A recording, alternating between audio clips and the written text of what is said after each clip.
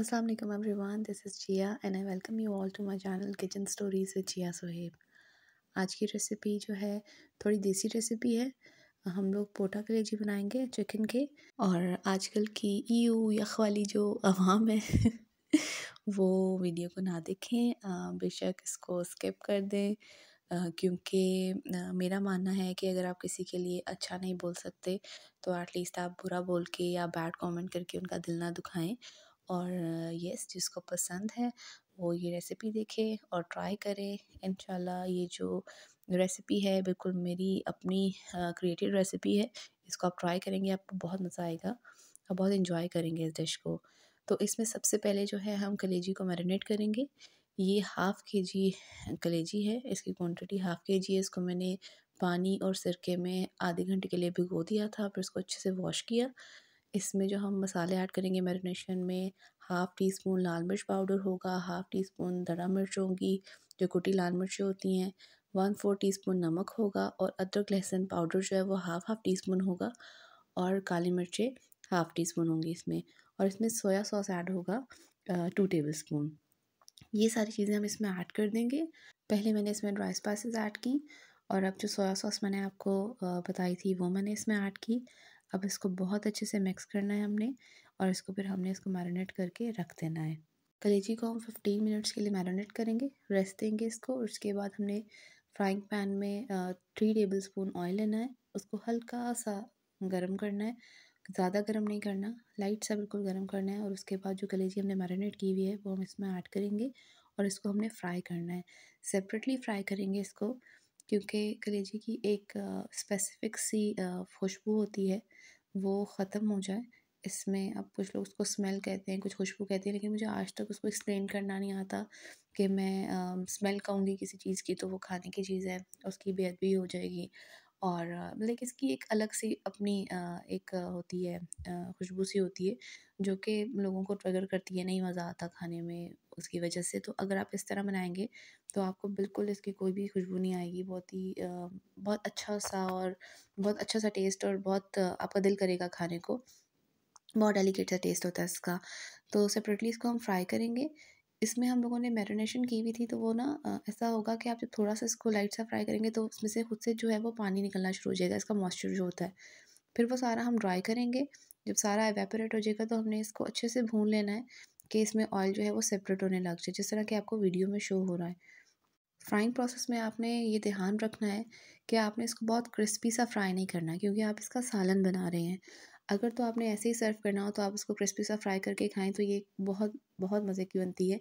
मुझे वैसे भी पर्सनली चिकन की कलेजी बहुत ज़्यादा पसंद है, और जिन लोगों को पसंद है उनको इस टाइम पे बिल्कुल फ़ील आ रही होगी टेस्ट आ रही होगी कि कितने मज़े की होगी। अब हम करेंगे जो अपना सालन का प्रोसेस उसको बढ़ाएँगे आगे की तरफ़। अब हम लोगों ने पोटा बनाना है। इसके लिए मैंने इसी तरह सेम जिस तरह कलेजी को मैंने सेपरेटली भिगो के रखा था सिरके और पानी में, उसी तरह जो पोटे थे मेरे पास, उनको भी मैंने भिगो के पानी और सिरके में रखा हाफ़ एन आवर के लिए, ताकि वो अच्छे से साफ़ हो जाएँ, अच्छे से क्लीन हो जाएँ, जैसे कि आपको वीडियो में शो हो रहे हैं। जिस तरह हाफ़ कलेजी क्वांटिटी कलेजी की थी इसी तरह जो हाफ़ के जी है, वो पोटे की ही क्वांटिटी है। इसको आप देख सकते हैं वीडियो में कितने अच्छे से ये वॉश हो गया इसी तरह सिरके में ऐड करेंगे, बहुत अच्छे से वॉश होगा। एक आपने मीडियम साइज़ की प्याज को चॉप कर लेना है और दो हरी मिर्चों को चॉप कर लेना है। तीन टमाटर मीडियम साइज़ के आप उनको पील ऑफ़ करके इसी तरह जैसे आपको वीडियो में शो हो रहा है चॉप कर लेंगे। ड्राई स्पाइसेस में आप हाफ़ टी स्पून नमक हाफ़ टी स्पून लाल मिर्चें हाफ़ टी स्पून ये कुटी हुई मिर्चें और अदरक लहसुन का पेस्ट वन टेबल स्पून और अगर पाउडर है तो हाफ़ हाफ़ टेबल स्पून करेंगे। और वन फोर टी आप इसमें हल्दी ऐड करेंगे। इसमें थ्री टेबल स्पून आप योगर्ट के ऐड करेंगे। अब आपने जिस देची में खाना बनाना है, उसमें आपने हाफ़ कप ऑयल ऐड करना है, हरी मिर्ची और प्याज एक साथ आप ऐड करेंगे। इसको आपने ब्राउन नहीं करना, इसको आपने ट्रांसपेरेंट सा करना है।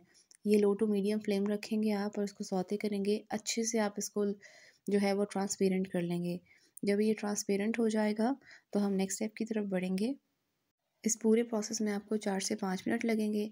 अब जो प्याज है वो ट्रांसपेरेंट हो चुके हैं, अब इसमें आप पोटे ऐड करेंगे और इसको आप बहुत अच्छे से फ्राई करेंगे। अगर तो आप अदरक लहसुन का पेस्ट इस्तेमाल कर रहे हैं तो जब आपके प्याज ट्रांसपेरेंट हो जाएँगे, आप उस स्टेज पे अदरक लहसुन का पेस्ट ऐड करेंगे। क्योंकि मेरे पास पाउडर में मसाले थे तो मैंने इसको ड्राई इंग्रेडिएंट्स के साथ ही मैं इसको सॉरी ड्राई स्पाइसेस के साथ ही मैं इसको ऐड करूँगी। अच्छे से आपने पोटे फ्राई कर लेने हैं कि उनका कलर जो है वो चेंज हो जाए। और जब इस तरह हो जाएगा कलर चेंज जिस तरह आपको वीडियो में शो हो रहा है तो आप ड्राई स्पाइसेस इसमें ऐड कर देंगे और फिर इसको आप अच्छे से मिक्स करेंगे। पानी फ़िलहाल ऐड नहीं करना।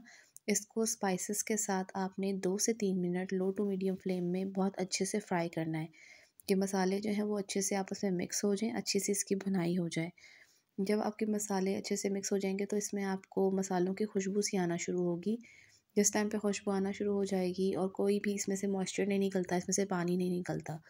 जब अच्छे से मिक्स हो जाएँगे तो आप इसमें टमाटर ऐड करेंगे। टमाटर ऐड करके आप इसको अच्छे से इसकी भुनाई करेंगे। अच्छा कुछ लोग टमाटर का पेस्ट ऐड करते हैं, लेकिन कोशिश करें जब आप ये डिश बनाएँ तो उसमें आप पेस्ट ऐड ना करें, आप इस तरह टमाटर को चॉप करके ऐड करें। तो टेस्ट में बहुत डिफरेंस होता है और ये बहुत ही मज़े की डिश बन जाती है। लेकिन अगर आप पेस्ट ऐड करेंगे तो आपको बहुत अच्छा सा टेस्ट नहीं आएगा। जिस तरह का आप चाह रहे होते हैं या जिस तरह आपको वीडियो में शो हो रहा होता है। टमाटर डालने के बाद एक से दो मिनट आप इस तरह इसको, इसकी भुनाई करें, फ्राई करें और उसके बाद आपने इसमें हाफ़ कप पानी ऐड करना है। हाफ़ कप पानी ऐड करने के बाद आपने लो टू मीडियम फ्लेम ही रखनी है। इसको गलने में बहुत ज़्यादा टाइम नहीं लगता। आप इसको पाँच से दस मिनट के लिए ढाँक के पकाएँगे। तो जी आफ्टर टेन मिनट्स आपकी हंडिया की जो शक्ल होगी वो कुछ इस तरह की होगी, इस तरह के लुक होगी आपके सालन की। इसको आप इस टाइम पे अच्छे से भुनाई करेंगे। पानी काफ़ी हद तक खुश्क हो चुका है। टमाटर भी बहुत अच्छे से गल चुके हैं। जब थोड़ा थोड़ा ऑयल साइड पे आने लगेगा, उस टाइम पे आप दही ऐड करेंगे।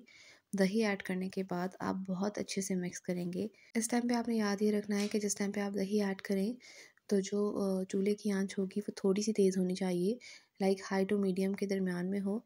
इससे होता यह है कि अगर आप हल्की आँच में दही ऐड करते हैं तो सालन जो है वो थोड़ी सी ना उसकी जो लुक होती है वो फटी फटी सी होती है। तो दही बहुत अच्छे से इसमें मिक्स नहीं होता। तो तेज़ आँच में जब आप दही ऐड करते हैं तो उसकी मिक्सिंग बहुत अच्छी होती है और सालन की लुक भी बहुत अच्छी आती है। अब जिस टाइम पे आप दही ऐड करके मिक्स कर लेंगे तो आपने जो कलेजी फ्राई की हुई है, वो इसमें ऐड करेंगे। कलेजी आपने इसी टाइम पे ऐड करनी है, जिस टाइम पे थोड़ा सा मॉइस्चर होगा सालन में थोड़ा सा पानी होगा दही का। इस तरह जो कलेजी है, वो सख्त नहीं होगी। और बहुत अच्छे से इसका टेक्सचर होगा और मसाले बहुत अच्छे से मिक्स हो जाएँगे। अब कलेजी ऐड करने के बाद आप तीन से चार मिनट लगेंगे मीडियम फ्लेम में इसकी बहुत अच्छे से भुनाई करेंगे कि जो ऑयल है वो सरफेस पे आ जाए और जिस टाइम पे ऑयल सरफेस पे आना शुरू होगा उस टाइम पे आपने सूखी मेथी जो है वो हाथों से मसल के इसमें ऐड करनी है तकरीबन हाफ़ टी स्पून और इसकी भुनाई कर लेनी है। जिस टाइम पे भुनाई हो जाएगी ऑयल बिल्कुल सेपरेट हो जाएगा, पानी पूरा वेपरेट हो जाएगा तो आप इसमें हाफ़ टी स्पून जो है वो गर्म मसाला ऐड करेंगे। और हरा धनिया, हरी मिर्चें जो हैं वो आप गार्निशिंग के लिए ऐड कर लेंगे। इसमें मेरे पास फ़िलहाल हरी मिर्ची जो है वो अवेलेबल नहीं थी तो मैंने सिर्फ़ इसमें हरा धनिया ही ऐड किया है। आप इसमें हरा धनिया ऐड करिए हरी मिर्ची इस टाइम पे ऐड करें और बहुत अच्छे से आप देख रहे हैं कि पानी बिल्कुल खुश्क हो गया है, ऑयल बिल्कुल सेपरेट हो गया है तो हमारी जो हंडिया है, जो हमारा सालन है वो रेडी हो गया है और इसके लुक बहुत अच्छी है। नॉर्मली जब आप कलेजी का सालन बनाते हैं, जब इस तरह के सालन बनाते हैं तो जो सालन का कलर होता है वो थोड़ा ब्लैकिश सा होता है। तो आप देखें आपको सालन का कलर कितना फ्रेश सा, आपको कोई इसमें ब्लैकिश सा कलर नहीं शो हो रहा। इस टाइम पे हम इसको आप डिश आउट करेंगे और फिर हम इसको रोटी के साथ एंजॉय करेंगे। ये हमने इसको डिश आउट कर लिया और थोड़ा सा जो हरा धनिया थी और फिर मेरे पास फ्रिज में एक हरी मिर्च मुझे मिल ही गई। साथ में मैंने वो छोटी छोटी सी ड्राइसिस में काट के वो मैंने इसमें ऐड कर दी और इसकी फ़ाइनल लुक आपके सामने है। ये जितना टेम्पटेक आपको देखने में लग रहा है, ये खाने में उतना ही मज़ेदार था। और इसको आप घर में रोटियाँ बनाएँ, उसके साथ सर्व करें, साथ में आप दही का रायता वगैरह बना लें, आपकी अपनी चॉइस है। तो ये बहुत मज़े का लगता है, इसको आप बहुत शौक से खाएँगे, आप एक दफ़ा जब ट्राई करेंगे तो आपका वाकई जिस तरह कहते हैं ना, जब आप कोई चीज़ ट्राई करते हैं कि अब हम दोबारा बनाएँगे बार बार बनाने को दिल करता है, ये उसी तरह की डिश है। तो इन आप इसको ट्राई कीजिएगा, आपको पसंद आए तो मुझे कमेंट सेक्शन में कमेंट करके ज़रूर बताइएगा कि आप लोगों को कैसा लगा। अगर आप मेरे चैनल को, मेरी वीडियोस को पहली दफ़ा देख रहे हैं तो आप मेरे चैनल को सब्सक्राइब करें और बेल आइकन ज़रूर प्रेस कीजिएगा ताकि आने वाली वीडियोस की नोटिफिकेशंस आपको मिलें। अपने फ्रेंड्स में, फैमिली में मेरा चैनल जो है वो शेयर करें ताकि आपके साथ साथ और भी लोगों का फ़ायदा हो और वो भी मज़े मज़े की रेसिपी सीखें। वीडियो आपको पसंद आई है तो इसको लाइक करें। इंशाल्लाह जल्द मिलेंगे न्यू रेसिपीज़ के साथ। तब तक अपना बहुत ख्याल रखें। Stay happy, stay positive. अल्लाह हाफिज़।